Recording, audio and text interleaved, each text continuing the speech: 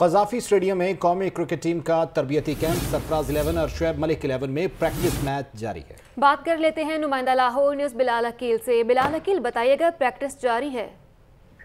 جی بالکل جس طرح سے آج تربیتی کیمپ کا پانچواں روز ہے پہلے چار دن تو بیٹنگ بالنگ اور فیلڈنگ پر توجہ دی گئی لیکن چونکہ ٹیم جو ہے وہ ایشیا کپ میں جا رہی ہے تو آج ایک پریکٹس میچ کا انعقاد کیا گیا جس میں پچاس اوورز رکھے گئے ہیں۔ ایک ٹیم جو ہے وہ شعیب ملک الیون ہے اور دوسری سرفراز الیون۔ ہے دونوں کے مابین جو ہے وہ قذافی اسٹیڈیم میں آج میچ کھیلا جا رہا ہے۔ جی۔